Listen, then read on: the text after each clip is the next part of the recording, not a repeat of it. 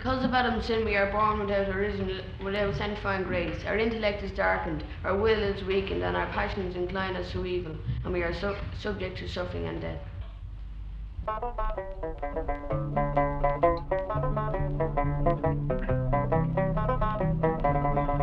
Well, in the merry month of May, now from me home I started, left the girls and two, and nearly broken hearted, saluted father dear, kissed me darling mother, drank a pint of beer, me grief and tears to smothered enough to reap the corn and leaf, for I was born, God a stout McLeod, the banished ghost, and goblins a brand new pair of brogues to rattle over the bogs and frighten all the dogs on the rocky road, a double of one, two, three, four, five, up to Herriton and down the rocky road, and all the ways to double a McFallaldy In Mullingar that night I rested limbs so weary, started. By daylight next morning and there he took a drop of the pure to keep me heart and drink, and that's the paddy's cure. When there is um for drinking to hear the lassie smile, laughing all the while. At me curious style to touch a heart above, and he asked me was I hired in wages I required till I was almost tired? Of the rocky road to double and one, two, three, four, five, hunt to hair and turn her down the rocky road, and all the way to double and McFallaldy in double and next the ride. I This is a personal attempt to reconstruct with a camera the plight of an island community which survived more than 700 years of English occupation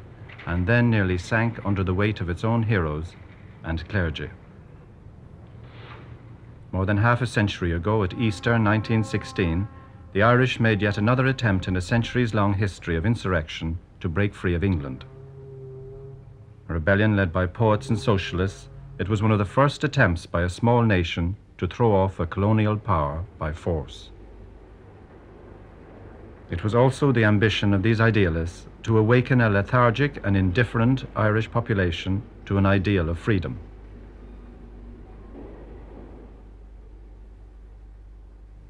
But what came out of that rebellion? The poets and socialists were executed. Finally, after a long struggle, in 1922, Ireland won independence of a sort. The treaty with England, which left a piece of the country still under British domination in the north, was not everybody's idea of an honourable independence. The new Free State had still to live through a civil war. Then, ten years later, led by Eamon de Valera, the Republicans, who had been opposed to the treaty, came to power, a power they have held almost without interruption to this day. The question now was what do you do with your revolution once you've got it?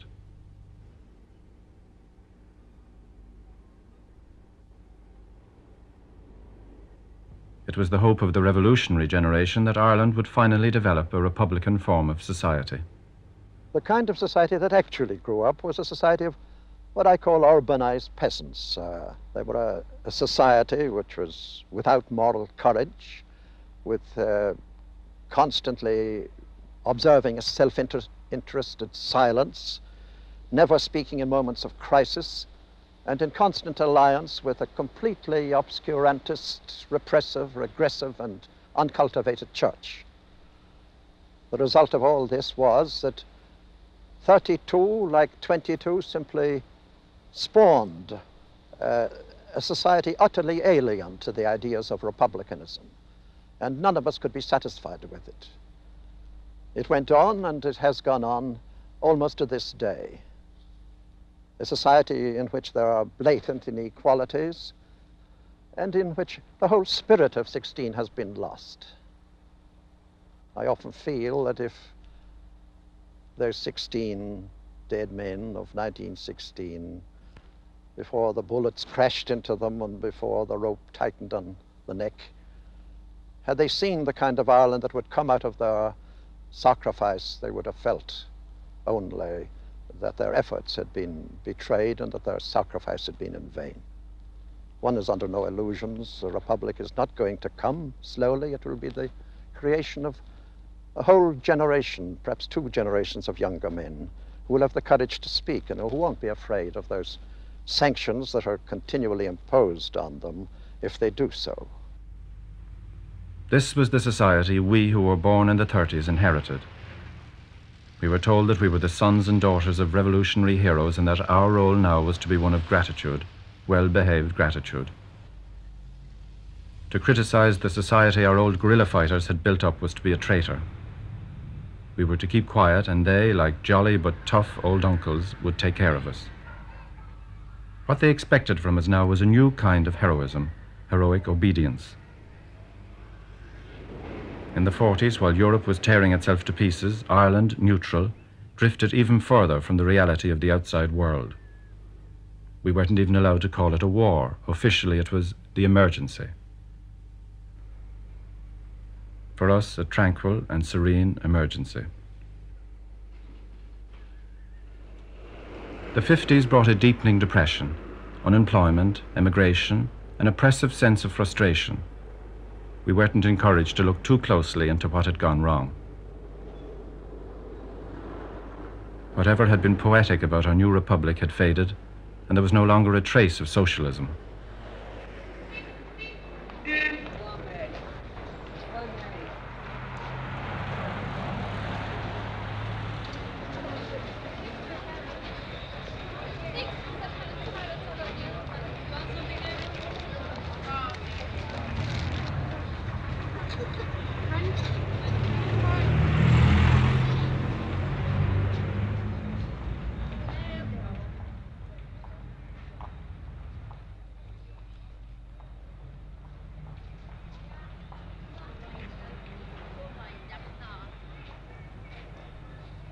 We lived in the shabby afterglow of heroic days that had long since faded.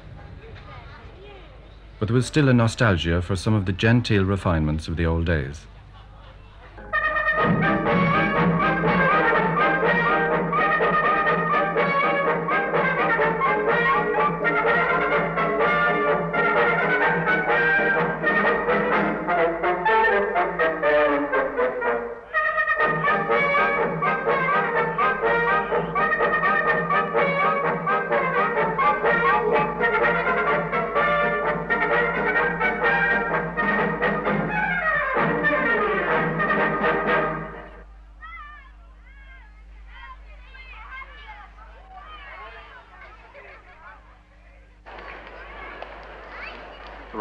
Society Annual Horse Show.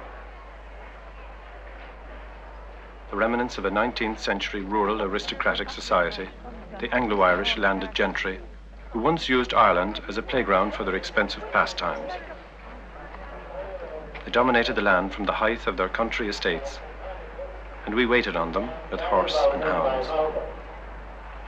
It wasn't only under the Republicans that we learned that to survive, you must at least show outward respect for authority. It's a training that goes back for centuries. We also learned to be devious and to use our charm with cunning. The horse show is still dominated by the Anglo Irish, but it has become heavily infiltrated with the Irish middle class, with politicians and publicans.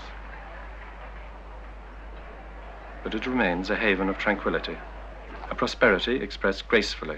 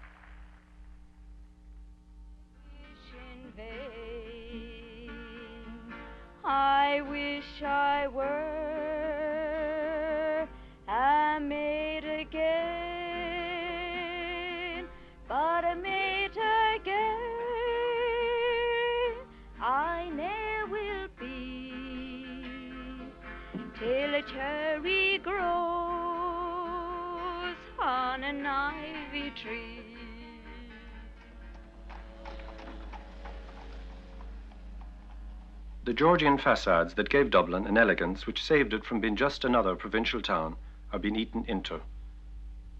and people are afraid of what the future might hold.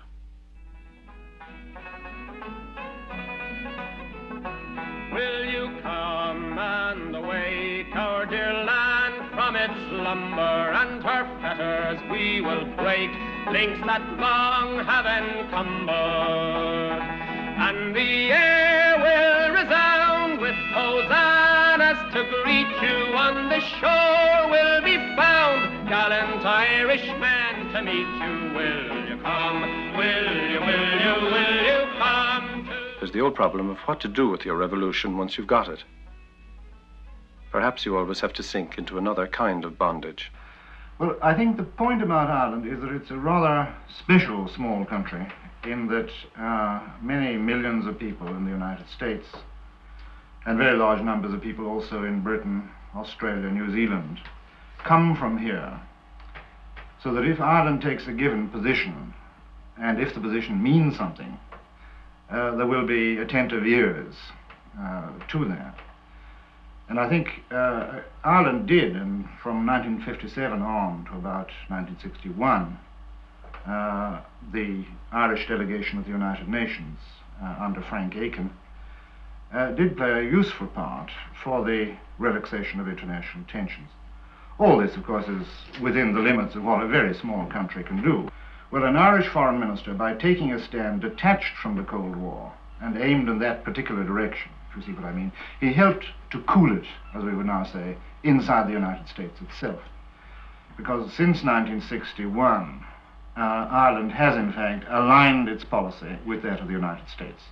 Ireland goes along on all important matters with the United States. This, to my mind, is both regrettable and unnecessary, uh, in that Ireland is not under any real form of pressure from the United States. We're not trying to borrow money from them. We're not dependent on their aid. We don't belong to their military bloc. We could take a line every bit as independent as that of Sweden. Uh, there was also, of course, a special phenomenon uh, at a given time which helped to form this, and that was a certain kind of clerical pressure. Uh, in 1957, uh, when Ireland for the first time uh, voted against the United States on the question of the representation of China. I won't go into the technical details of that, it's a very technical matter. But Ireland did that, and at that time, the Republican government, the Eisenhower government, called out Cardinal Spellman to the rescue to put the heat on Mr. Aiken and his government. Cardinal Spellman used his diocesan press to denounce Ireland for going red and so on. Uh, and this was played back by the sections of the Catholic hierarchy in this country. And the government at that stage took fright. That's what it amounted to. This is way back in 57. Uh, and uh, the, in effect, they're still running from the effect of that. Although, of course, this factor no longer really applies. Uh, as I mentioned at the meeting the other night, uh, the Pope is now distinctly to the left of Mr. Aiken and the Irish foreign policy. Uh, but, you know, once, once people get scared, they, they tend to stay scared. Too often, the solution for social problems was to go and have a few drinks. The pubs were for so long masculine purgatories, but now that women are allowed in, things have begun to cheer up.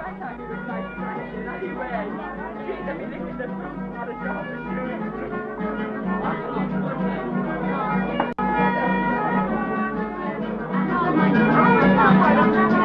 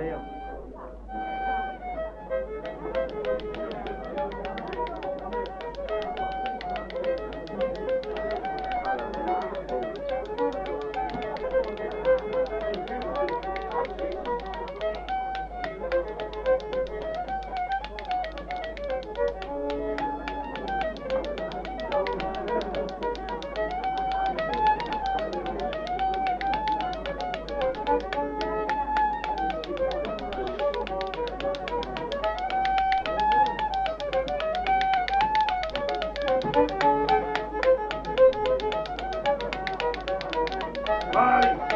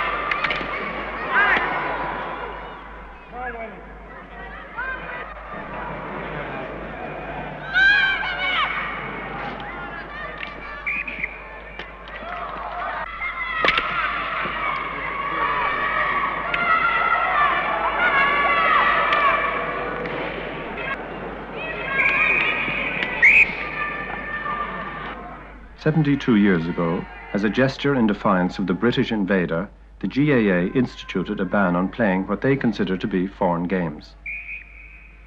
They also banned looking at foreign games or going to dances run by clubs which played foreign games.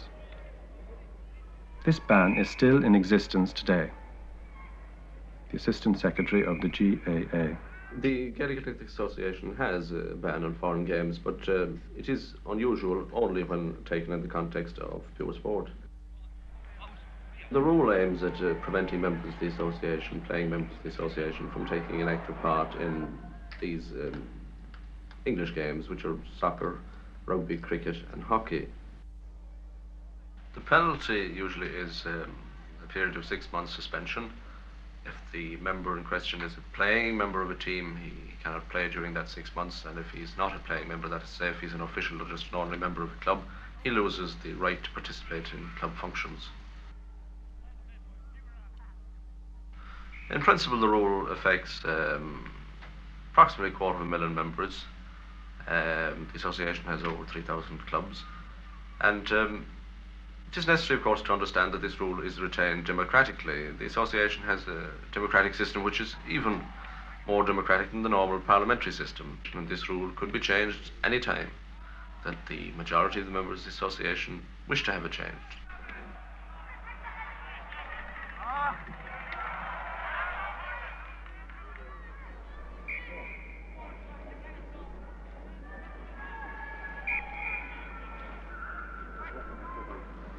The Gaelic Athletic Association is, of course, something much wider than a sports organisation.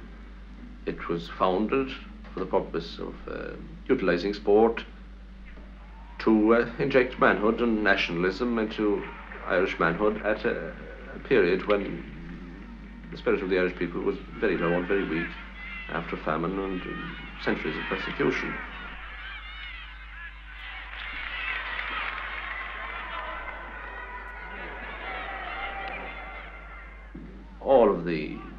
Movements which have led to the establishment of the state which we have have drawn their members, be they fighting members or active political members, from the ranks of the Gaelic Athletic Association, and as such it has been the reservoir of Irish manhood who have played their part in the evolution of the state.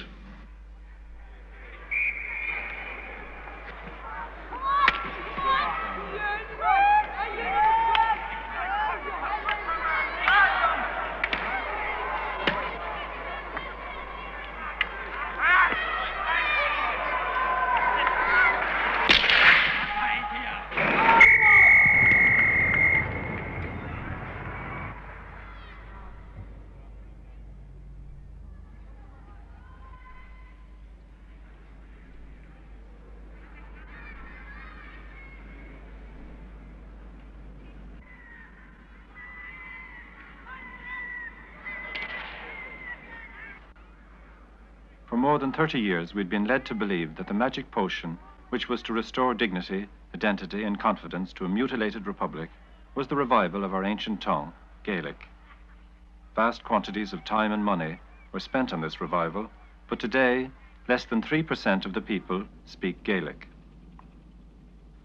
It became time to live a little less in the folkloric past and do something serious about unemployment and emigration.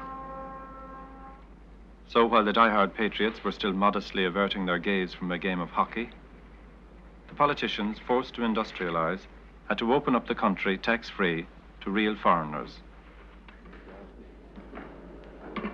This is the last of the Japanese factories which, like the French and some of the Germans, did not quite manage to set down roots in the newly ambitious republic. But the Japanese were willing to take on a little work on the side. I'm teaching uh, judo.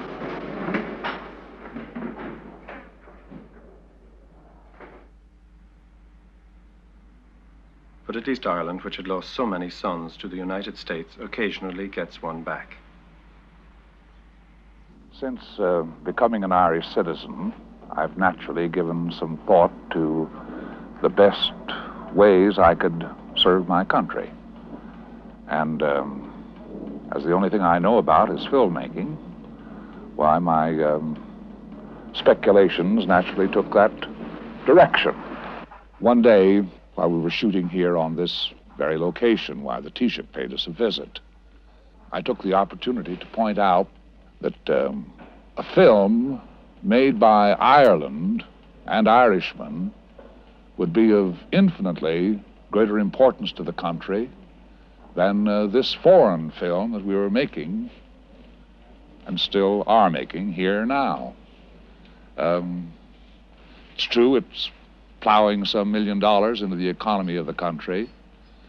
Um, but in the long run, that wouldn't mean half as much as um, a native film um, made by Irishmen.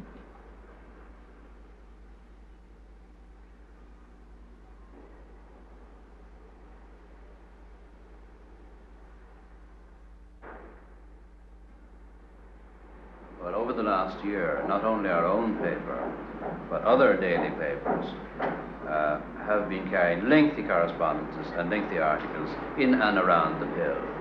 And the whole question has been thrown open. This is perhaps the most recent development, about, about a year ago. And you cannot, no censor can stop uh, a, a flow of ideas such as we have now if he want to, and perhaps they don't want to.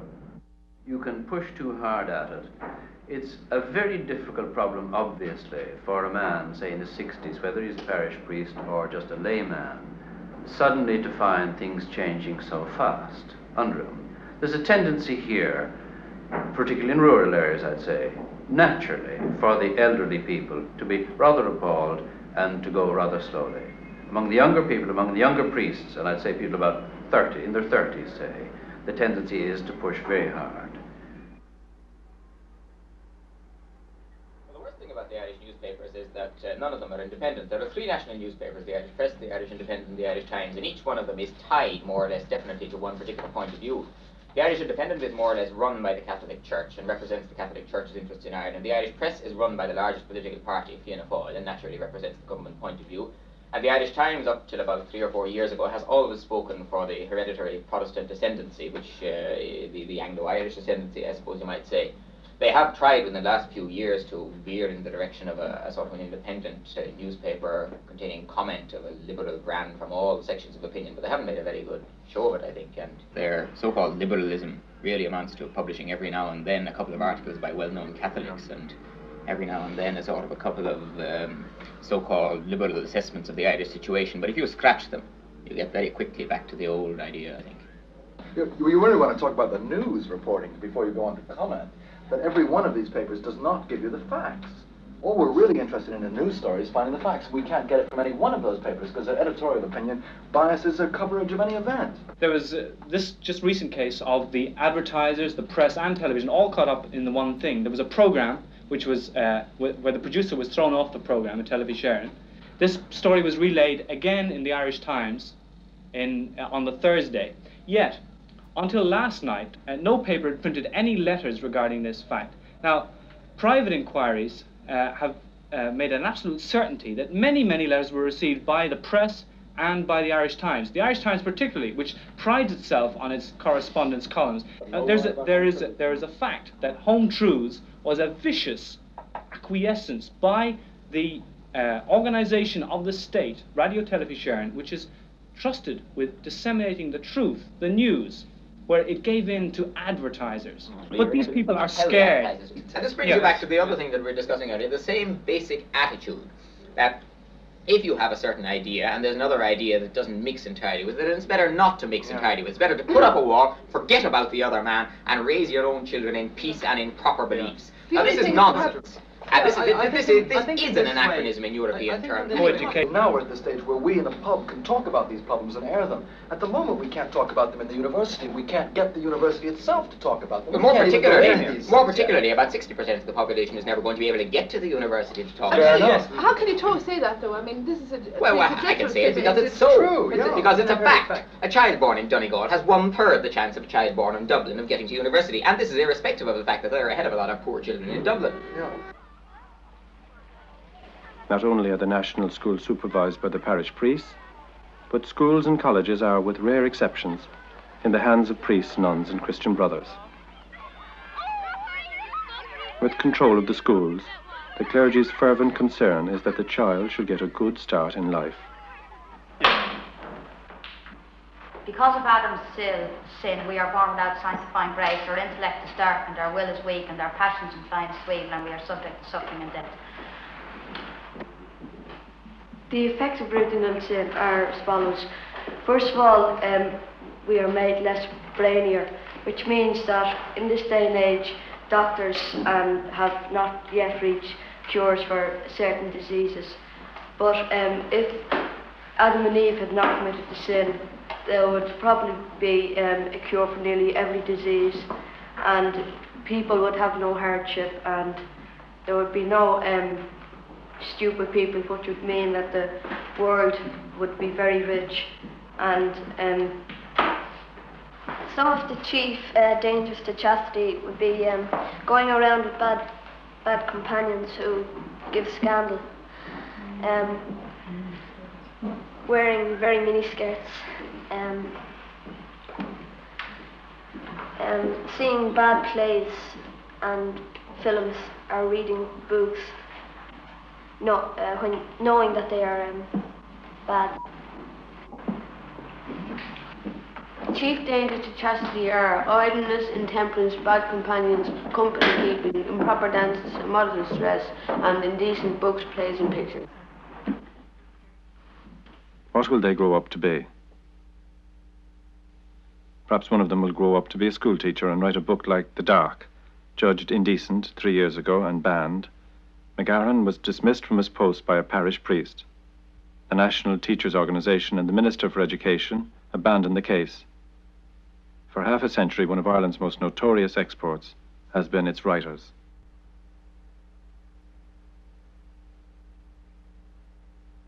Most of the younger Irish artists are engaged in what I might call a search for an an aesthetic search. They're looking for an, an aesthetic reason for existence as distinct from, let's put it, the purely commercial um, thing into which the country has descended over the last, say, 10 years.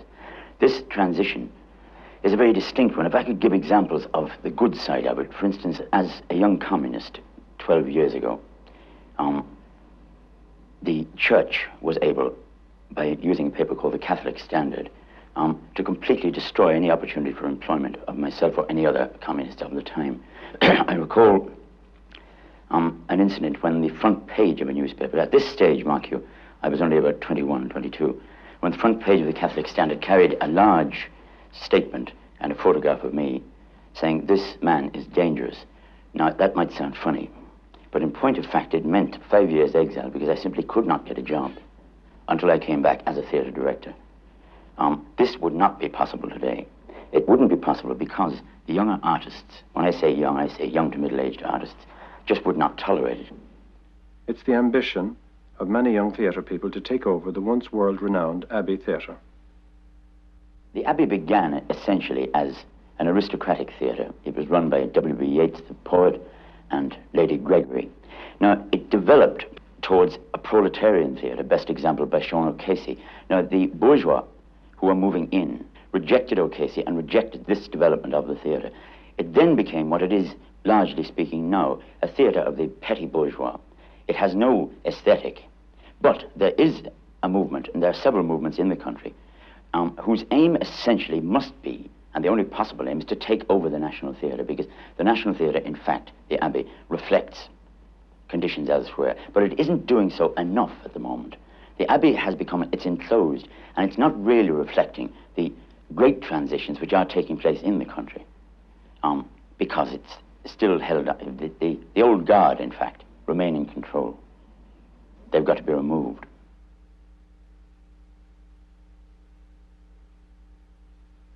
All of these authors have had books banned in Ireland.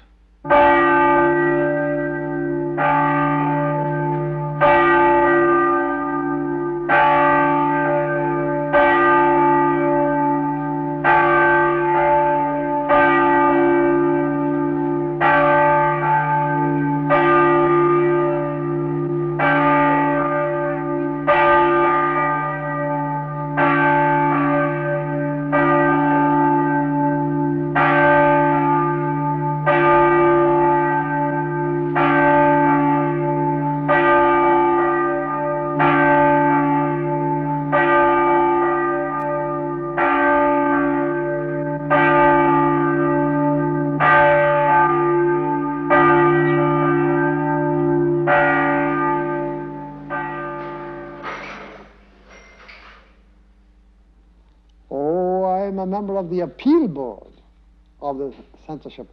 The appeal board, which uh, considers cases where books have been uh, banned by the censorship bo board, but where the publisher or the author appeals. Or a certain number of members of parliament can also appeal, and that comes before us, and we take the ban off sometimes. Sometimes we don't. Well, there was uh, an old friend of mine, uh, Jimmy Montgomery, a very well-known Dublin man with whom I had many a drink in this very bar, was appointed film censor. And after some years, the sound films came in.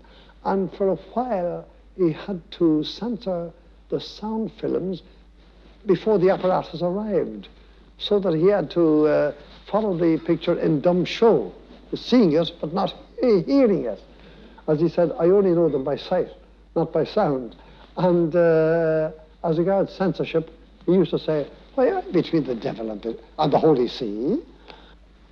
Certain countries, like England, seem to have given up all their traditional values, their Christianity, their old traditions of morality and everything, and seem to be saying or seem to be holding up the point of view that uh, uh, oh, that sin, the idea of sin shall be killed, and that all vice, what used to be called vice and immorality, should be allowed and should be uh, acknowledged and should be treated with indulgence and even with, uh, with uh, not even more than indulgence, what shall I say, with, uh, with uh, affection almost.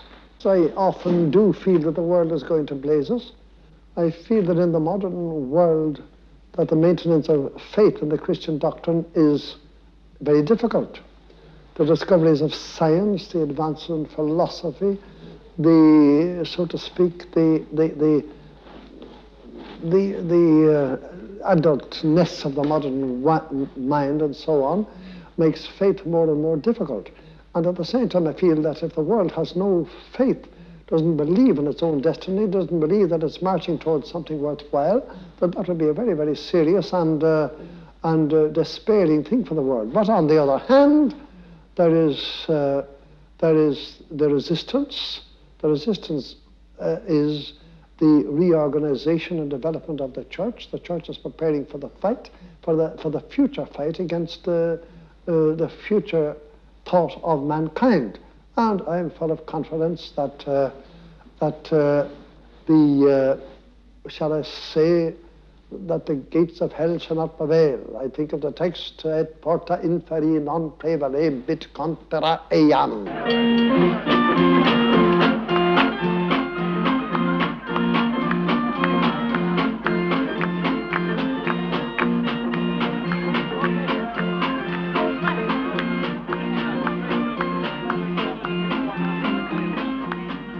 Tennis Club Dance Hall is the approved meeting place of young, middle-class men and women who, with the amicable consent of all, have spent their school days separated.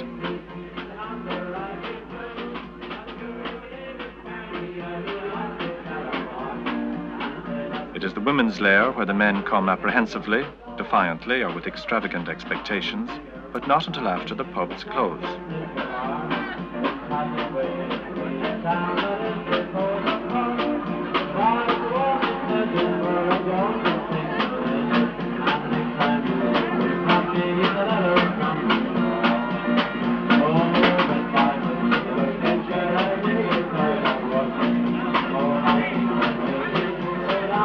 Irish women have long accepted, more or less cheerfully, that they have to patiently lay in wait for the man.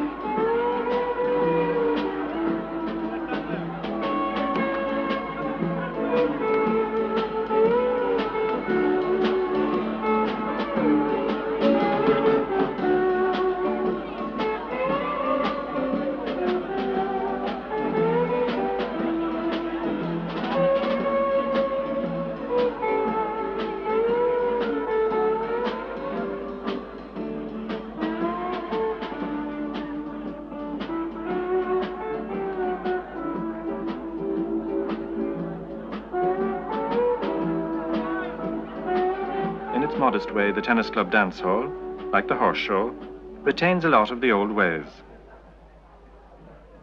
But a favorite meeting place for people of a certain class who value decorum and good manners.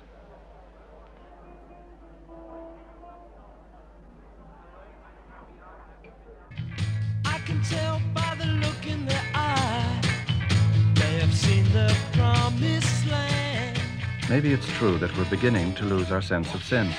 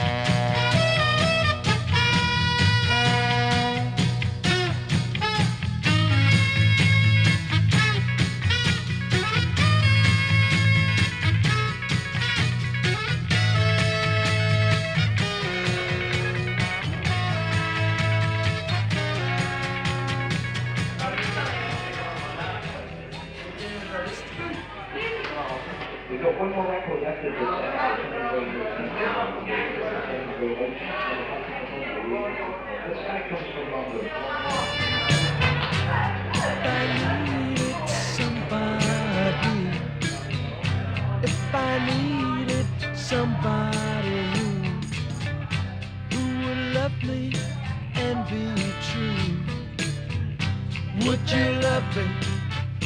Would they love me and be true? True, true, true.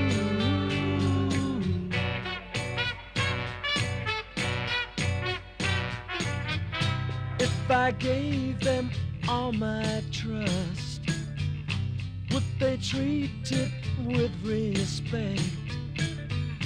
Through this life and in the next, would they love me?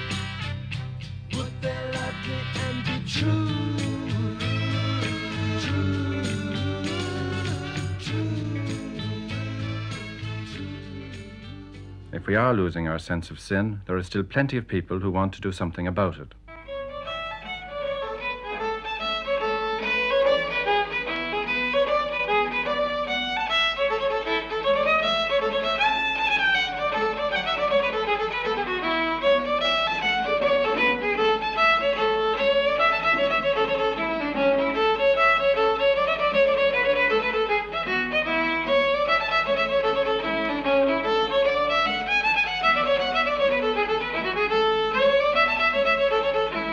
Involvement of Irish politicians with the clergy is not so much a villainous conspiracy as a bad habit.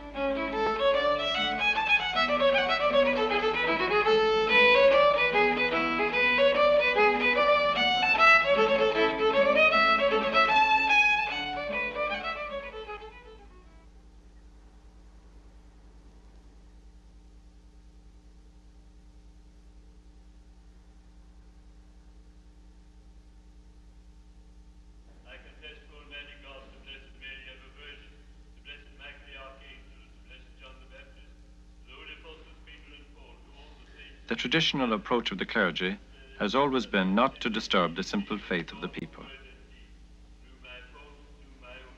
For generations, the priest has enjoyed an undisputed authority in Irish family life. The Vatican councils of the early 60s have badly shaken the Irish hierarchy, and the old favourite sport of private mockery but public servility to the clergy has, among the young, begun to develop into public defiance and challenge. Some of the younger priests, with the reluctant consent of the hierarchy, are trying a more modern approach. For two days, we recorded the world of Father Michael Cleary. Well, have you ever passed the corner of Fourth and Grand, where a little ball of rhythm has a shoe shine stand? Everybody gathers and they clap their hands. He's a great big bundle of joy. He pops a boogie woogie rag, the Chattanooga shoe shine boy. Oh well, he charges you a nickel just to shine one shoe. He makes the oldest kind of leather look like new. People feel a wanna dance when he gets through. Oh, he's a great big bundle of joy. He pops a boogie woogie rag, the Chattanooga shoe shine boy. Oh, it's a wonder that the rag don't tear the way he makes it pop. Oh, you wanna see him flip in the air. With his hoppity, hippity, hippity, hippity, hippity, hippity, hop away. Opens up the business when the clock strikes nine. Likes to get them early when they're feeling fine. Everybody gets a little rag and shine. Oh, he's a great big bundle of joy. He pops a boogie woogie rag, the Chattanooga shoe shine boy.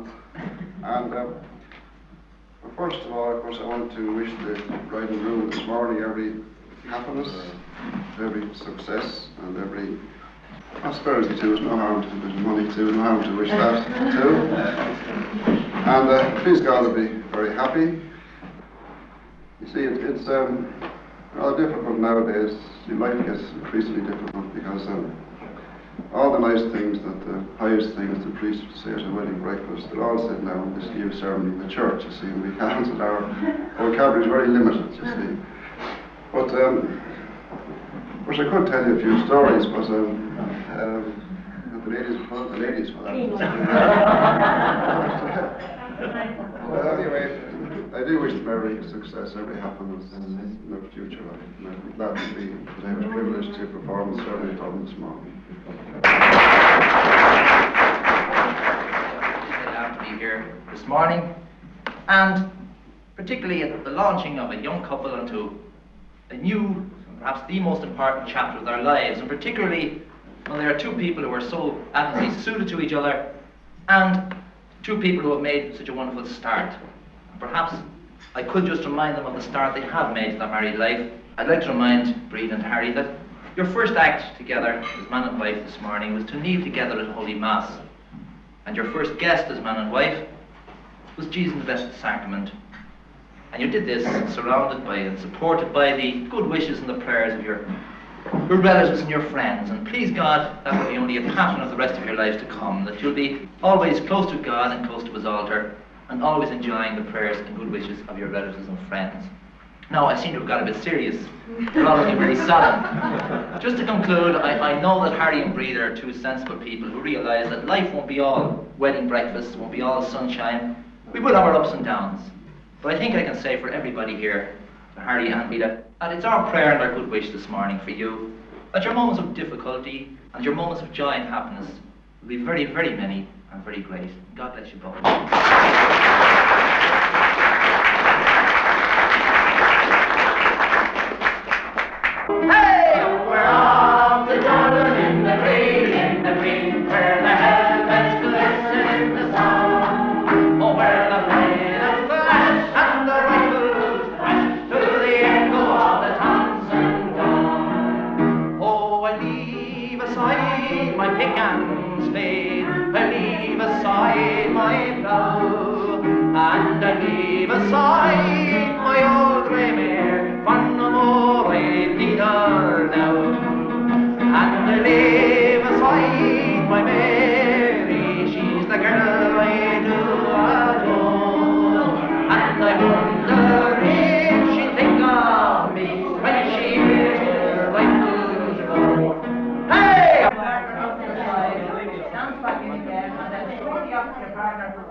Meet the next couple coming. And it goes in simple breathing, one, you're all together, then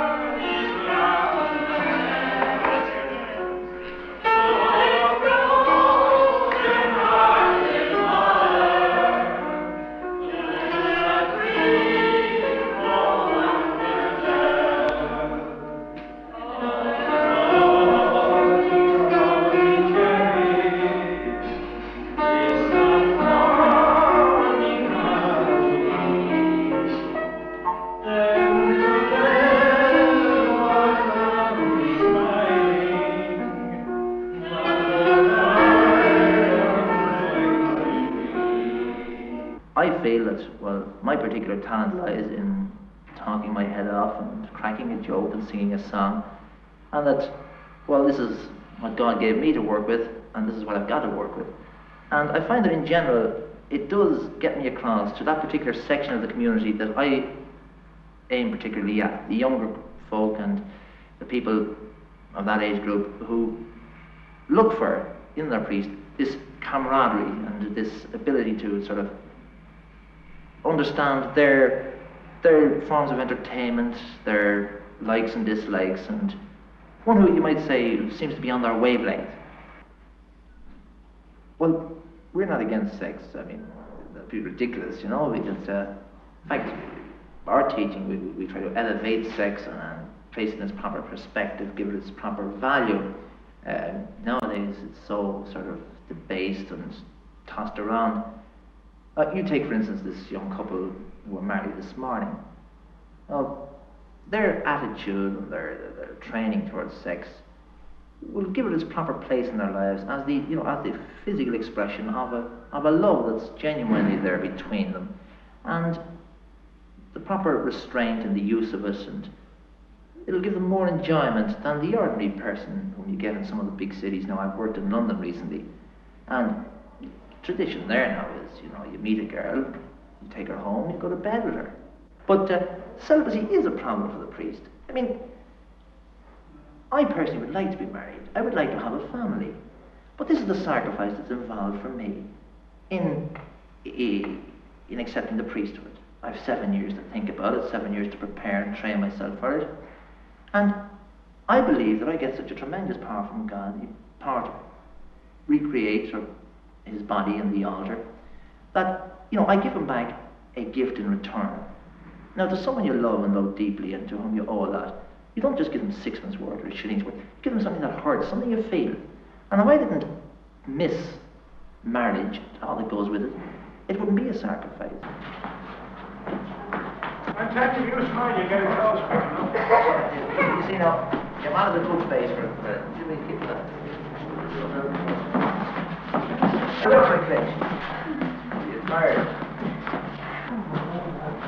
on, pull out your left hand there. That's it, stick out the left. Give him a shove out. Come on, Ginger. Come on, Brian. Hey, Brian, left. Push him. Keep the line. Keep that mouth shut for a. Down, come down. Come down. Come down, come down. You don't go down your head. Don't turn your face away from him. Sure, uh, how to are you? a bit of work sometime. Huh? Long time no You must be expecting a bit of business, are you? Uh, well, oh, one, fella, two, here. three of them, is it? Oh, yeah. How are you? How are you, father? You look well down see. there. Are you expecting a lot of business here or what? Oh, well, we're getting up a bit of stock. Getting up a bit of stock? Yeah. well, what were you thinking I'm of it glad to see you. Nice to see Come you, up Barry. enough cigarettes for you. You, you smoke? Come up they're out of that. ones. Come up out that and take a break. Thanks. They're No not good cheap brands. ones. I got, though I got them for nothing. No money was going. This time of the year, you have people coming home on holidays, you know, from Lourdes and places. and they're Oh, buying yeah. Judy too. Thanks. No, no there you joking. are. Go on, you can bury that too. you remember that old match we had? Yes. Well, I was thinking we ran it again. We might make it. This was this was a great game. Hey, Charlie still accuses us of having a few sort of ringers in, you know. I know, yeah. But every man who was there was a genuinely ordained priest. I should have seen some very experienced footballers, black and blue. But I trot out on the pitch, you see, expecting to see a few baldy married men, you know. Yeah, And who comes out? Joey Wilson, who played for the League of Ireland that year, trotting along. yeah, But do you remember the time he came down the wing? So just as he was coming, I gave him the, the hip, yeah, yeah. and he hit the railing with a bang. Oh, I thought I had him killed. And all the crowd, every time I touched the ball afterwards, boo. it was great. Charlie headed a few goals. Here, look at this. Look at that. Head the ball, they call him. but tell us now, seriously though, apart from joking that, I often thought, you know, that you fellas, do you get callous towards death at all when you're... Not at all.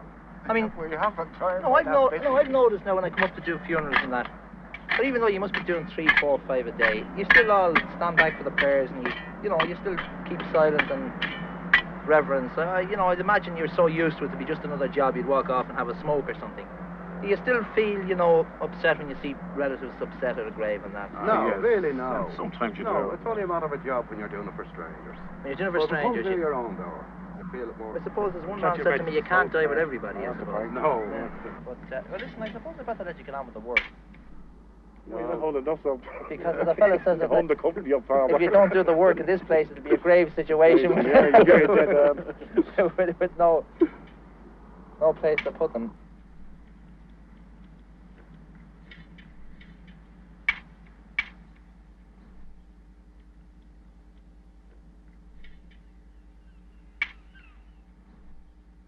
I got married when I was 21 and I had, you know, one every year.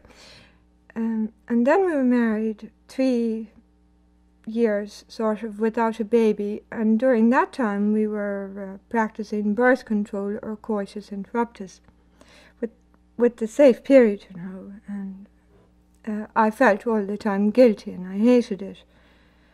Well, I went to confession and I told the priest there that I hated it and I felt I was going mad and all. And do you know what he told me to do? Go home and, like a good child, and move into another room because as long as you were going to be sleeping with him uh, on the occasion of his sin. I, I hadn't a hope of holding on to this baby because I was losing so much blood and everything. I don't really feel they should have taken it from me because, I mean, in a lot of ways it helped me an awful lot and the bit of suffering and all. I do, I do. So then I lost the baby and wasn't well or anything and I came home and for a while I certainly wasn't interested in sex or anything because I was too terrified of getting pregnant again. Now, most housewives couldn't afford to go to a psychiatrist or an analyst or anything. And, he, and even if they could, I think they would go to a priest first and he'd, he'd, he'd tell you go down and offer it up, you know, like a good child and do the nine Fridays or a novena or something or other, and I'd say and I'd say a prayer for you, and that's it. Work hard so you won't be, uh, you know, and go out and do the garden and this and that, so you won't. anyway, they're always on the men's side, and so are the doctors in this country. They they think women should sort of grin and bear it and put up with it because you know we're Catholics and they shouldn't be making it harder for the men sort of, you know, and be sort of committing sin by having sort of courses interrupted or something. I'm a practicing Catholic, and I don't think that if I were to uh, get in trouble tomorrow at this stage, that I'd go along to a priest or for advice.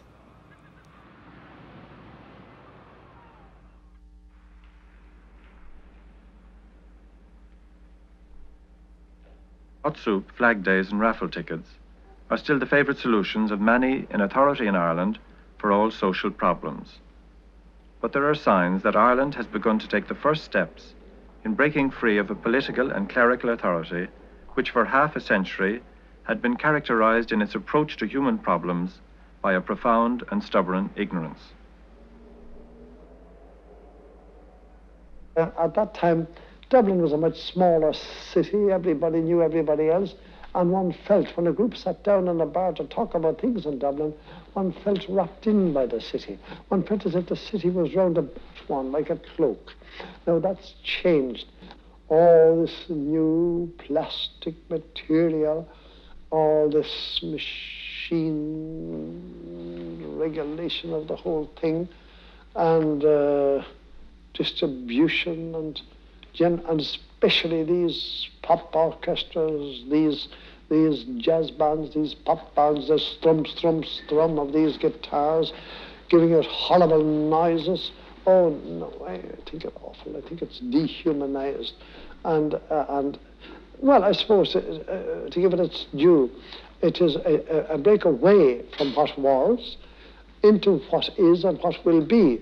And I suppose it will all acquire a character, it will acquire a tradition, it will acquire a, a mellowness, which is not there yet. I think that's what's wrong with us, really, that, that uh, we're at the beginning of a new age, really a new wonderful age of the world, but at the beginning of it, and therefore it hasn't, it hasn't any, so to speak, tradition or character about it yet, but it's acquiring it every moment, every day.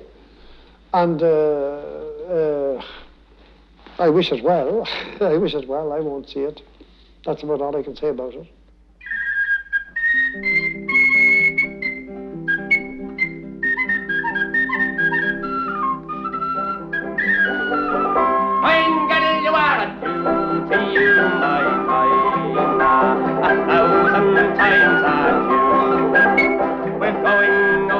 From the holy ground and the girls that we love. Will sail oh.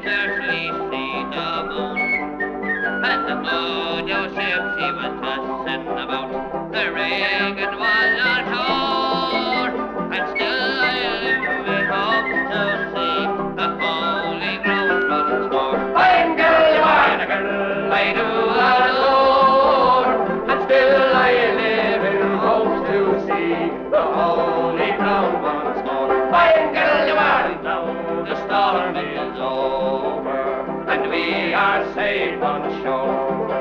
We will drink and toast to the holy ground and the girls that we adore. We will drink strong ale and porter and make